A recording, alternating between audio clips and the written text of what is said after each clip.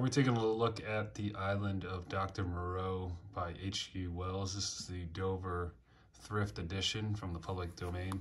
You can see this is a relatively thin paperback book. It is a 104 pages in light, uh, I'd say pretty mid-size font in these.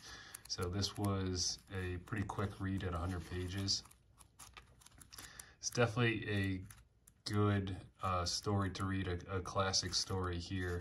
Uh, you may have heard the name or uh, even be familiar with the story, but it's nice to actually read the original version, how is how it was intended to be. Uh, this is a story that I had never read before. I really enjoyed it. Definitely recommend it.